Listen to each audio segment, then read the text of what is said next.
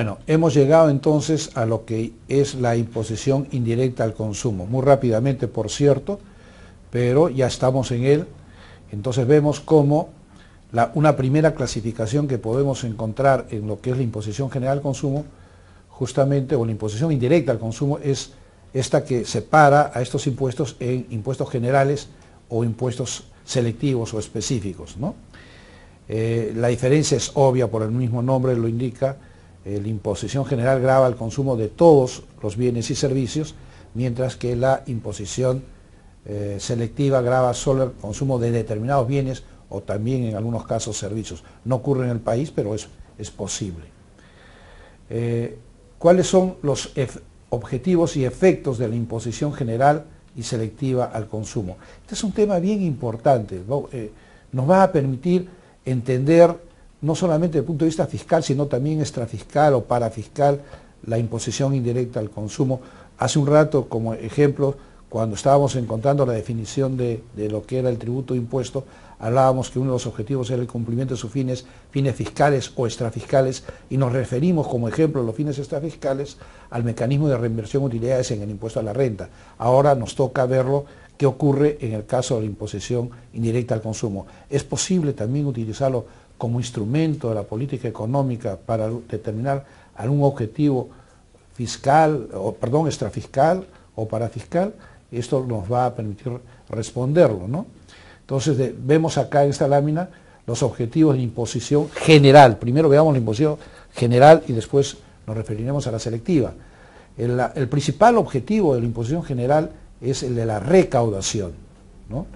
Y cuando hablamos del, del parafiscal, Estamos hablando que el objetivo es otro completamente distinto. Aquí nos vamos a dar cuenta que los impuestos indirectos al consumo de carácter general, precisamente por grabar la totalidad de los bienes y servicios que se ofertan en el mercado en un momento determinado, puede terminar afectando, va a terminar afectando el nivel global del consumo. Y entonces, ¿qué significa esto? ¿Para qué me puede servir afectar el nivel global del consumo? Teóricamente, técnicamente, eh, algunos autores señalan cómo algún gobierno podría utilizarlos como un mecanismo de política económica, por ejemplo, con el fin de estabilizar precios. En un problema, por ejemplo, de inflacionario, un estado inflacionario generado por un exceso de la demanda frente a la oferta, creando un impuesto o elevando las tasas del impuesto general al consumo, vamos a afectar el nivel global del consumo y en consecuencia permitir que los precios se estabilicen. No, no para, eh, eh, como algunos alguna vez me comentaron, algún congresista, cuando hubo un problema eh, de, elevación de precios, de inflación, si podrían bajar el impuesto para de alguna manera neutralizar ese incremento de los precios. Yo le expliqué que, que, que no, que no, porque si querían hacer algo, en vez de bajar, lo que tenían que hacer era subir el impuesto, lo cual les llamó profundamente la atención, porque no habían entendido esta parte. Al levantar los precios se afecta el nivel global de la demanda, se estabiliza la demanda y al estabilizarse la demanda entonces se estabilizan los precios. Esta era la idea que tenía que tomarse en cuenta. Entonces le llamó la atención si, él decía si políticamente era lógico levantar eh, crear un impuesto o levantar el impuesto a las ventas, crear las ventas, para en un momento inflacionario, políticamente podría no ser bien vistos. Y decía, no solamente políticamente, sino que eh, en el Perú no se podría utilizar por la sencilla razón de que existe aún una elevada, un elevado nivel de evasión. Para que pueda ser utilizado este tributo como herramienta para estabilizar precios, se requiere que no haya evasión o que ésta sea mínima, que no existan exoneraciones ni beneficios tributarios. En el Perú tenemos sectores como la agricultura, por ejemplo, que no está, en este, eh, no está grabado y en consecuencia, y si todavía tenemos un alto nivel de evasión, eh, por más que se dicten o se eleven las tasas de impuesto, no se lograría el objetivo para fiscal por la sencilla razón que no alcanzaría a la generalidad de los, de los contribuyentes que existentes. Entonces, suele ser descartado con esta finalidad y simplemente se utiliza para como eh, fin recaudatorio. En el caso del el impuesto selectivo al consumo, en cambio, no se busca afectar el nivel global del consumo, sino la estructura del consumo.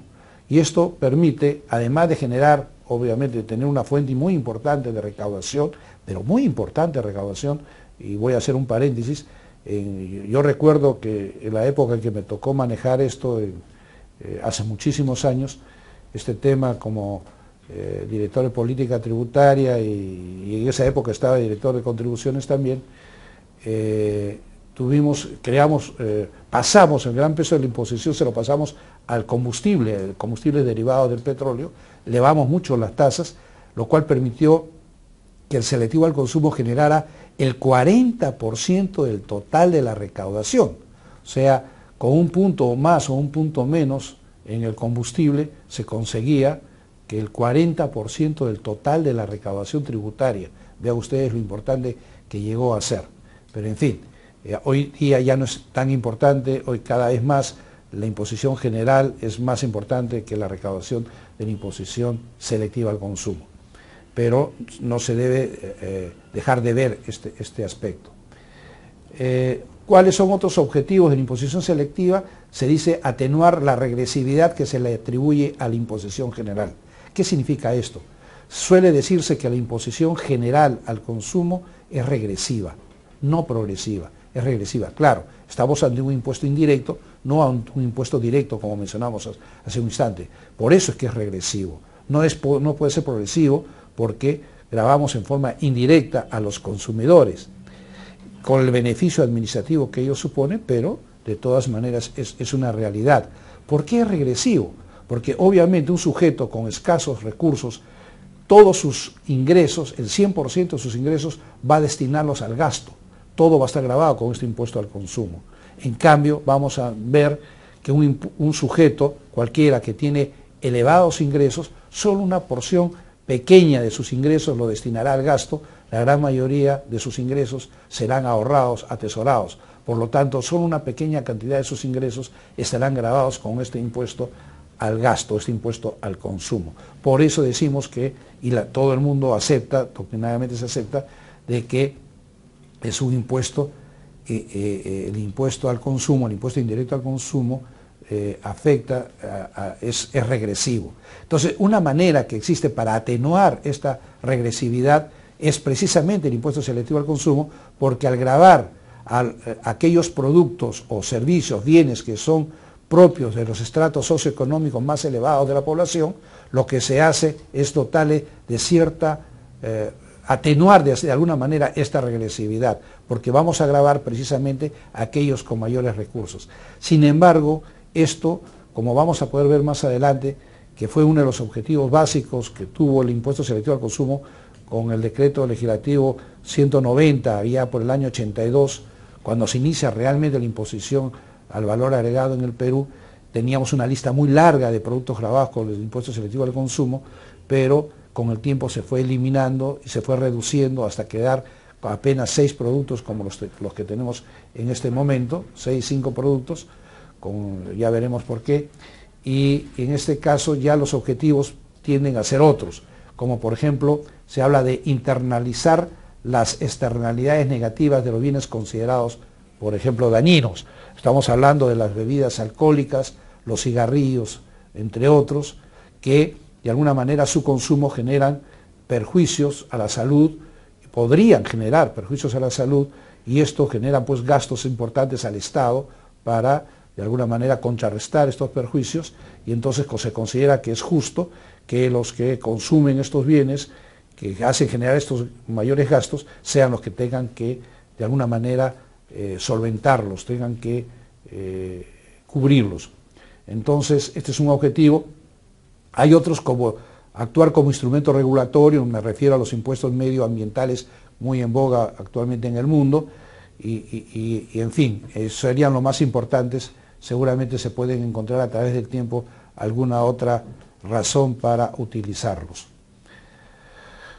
Entonces, los, eh, los efectos, estos, eh, son los, los, objetivos normales de la imposición general y selectiva. Ahora, eh, ¿cuáles pueden ser los efectos de estos impuestos? Y vamos a ver que estos efectos van a depender de la estructura técnica que adopten los impuestos, porque eh, estos impuestos indirectos al consumo pueden adoptar muchas formas eh, o estructuras técnicas, como vamos a ver en unos minutos, y en función de eso, de la estructura técnica, de las características técnicas que adopte el impuesto en particular, vamos a ver una serie de consecuencias o efectos de tipo financiero y efectos económicos, efectos eh, administrativos y efectos jurídicos. Cuando me refiero a efectos financieros, me refiero obviamente al efecto de recaudación, cuando me refiero a los efectos económicos, me voy a referir a la configuración de los precios, si son neutrales o no en la configuración de los precios, o si los distorsionan, eh, también en la configuración de la cadena de producción y distribución, esta de fabricante, mayorista, minorista, algunos de estos impuestos van a ser neutrales, otros no van a ser neutrales, van a distorsionarla, van a alargarla o a través de lo que se llama un desdoblamiento de la cadena o, va a o la va a cortar como es, eh, sucede con la integración vertical eh, y eso va a depender de las características técnicas como veremos más adelante. ¿no? Otro efecto económico importante es si las características técnicas del tributo, tal como se, se aplica, permite o no determinar el componente tributario de los precios. En otras palabras, qué parte del precio está constituido por el tributo. Y esto es muy importante para efectos, por ejemplo, de la devolución del impuesto a los exportadores. Cómo devolverle al exportador el impuesto, por las razones que veremos más adelante, eh, si no conocemos cuál es ese componente tributario. Vamos a ver que algunas de las formas técnicas adoptan estos impuestos lo permite, permite identificar el componente tributario, pero otras no. Y entonces esto va a ser también sumamente importante. Los efectos en el control y administración de impuestos, algunos son más fáciles de administrar y de determinar, otros son más difíciles. Hay otros efectos jurídicos, por ejemplo, la definición o identificación del contribuyente, eh, algunos son fáciles de identificar al contribuyente, como un impuesto general, un impuesto sin exoneraciones que graba toda la cadena. Es fácil de determinar al contribuyente un impuesto que graba a determinado contribuyente y no a todos los que aparecen en la cadena, entonces va a ser más difícil de, definir y conceptualizar. Eh, también hay efectos políticos no tratado acá, por ejemplo el nivel de la tasa. Algunos requerirán de tasas más altas para generar la recaudación necesaria, otros tasas más bajas, por lo tanto unos tendrán mayor eh, aceptación política, otros menos.